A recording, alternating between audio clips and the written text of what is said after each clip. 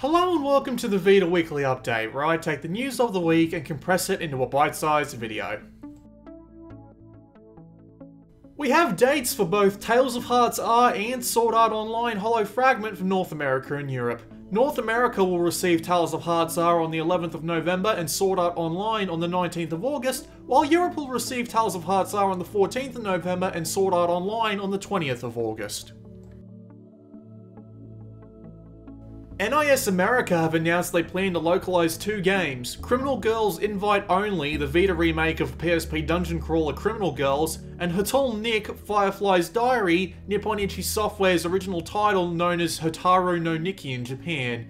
Firefly's Diary will be released in the fall as a digital download exclusive, while Criminal Girls Invite Only is coming in spring 2015. That's for both North America and Europe.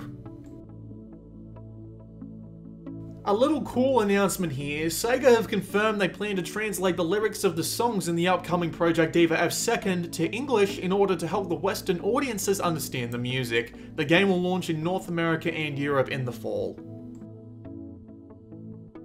Soul Sacrifice Delta is receiving two free outfits and a new boss, the Gigas. The new pacts and outfits are available through the download menu of Soul Sacrifice Delta. A little interesting note, Phantom Breaker Battlegrounds Vita version, which hasn't been officially announced for localization at the time I write this, will be on display at the Anime Expo this weekend at the Los Angeles Convention Center. There should be an announcement coming soon, surely. The third DLC pack for Muramasa Rebirth, The Tale of the Seven Night Ghostly Curse, features a ninja cursing himself with wave after wave over assassins over the course of a week. The DLC will release in Japan on the 10th of July. North America and Europe will receive it on the 15th and 16th of July.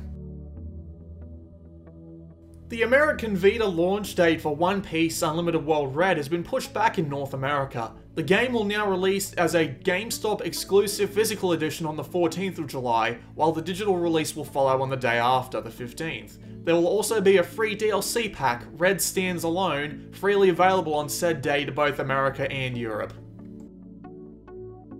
We have a few new details for the localized versions of Freedom Wars. There will be no dub, with only Japanese voices and subtitles available, and while North America will receive the game physically, in Europe it will be download only. The game's 47 Japanese prefectures will be replaced with 50 popular cities from around the globe the players can choose for themselves. There's still no date for either region.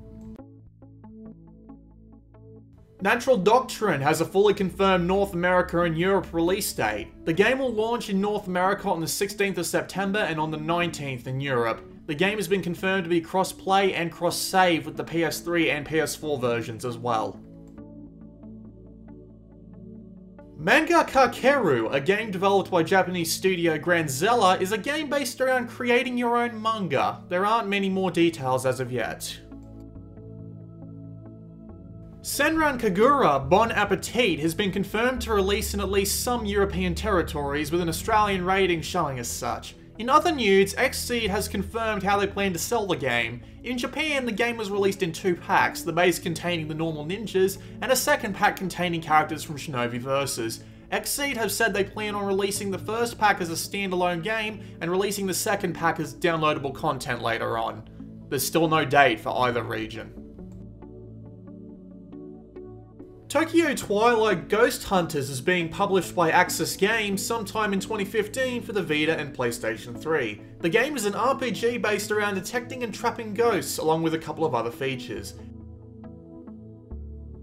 Dengeki Bunko Fighting Climax is a Vita and PlayStation 3 fighting game crossover containing characters from various media franchises including Durarara and Sword Art Online. The game is coming out sometime during the fall in Japan, and with the license issues this sort of thing would create, don't expect it to see it in the West anytime soon.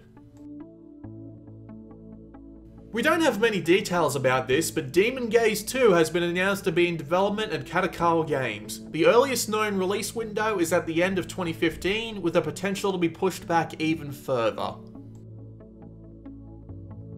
And finally this week, Killzone Mercenary has received a new patch changing up the spawn system and updating the naming system for the bots. That's it for this week. Like, subscribe, comment, and share the video around if you liked it. See you next week!